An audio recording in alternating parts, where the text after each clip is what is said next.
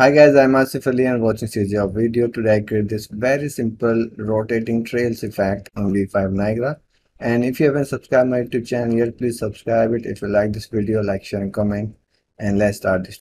So let's create this random effect. So if I'll take this Niagara. Effects. Okay, and we have lots of particle and I have this post process on let me turn this off. Okay so i have lots of particles.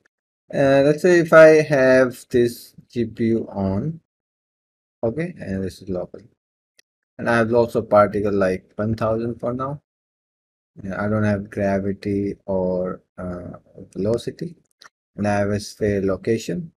So if this is 100 we have this. And if i animate the scale